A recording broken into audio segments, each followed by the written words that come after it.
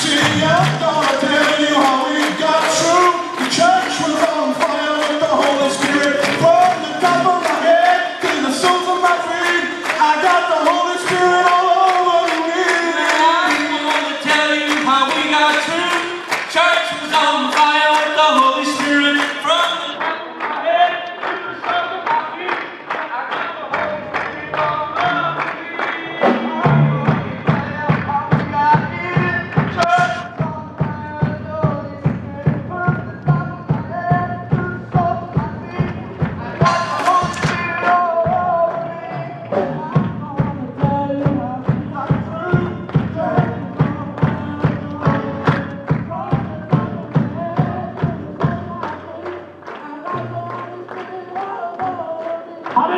Let's clap the Lord and give Him praise tonight.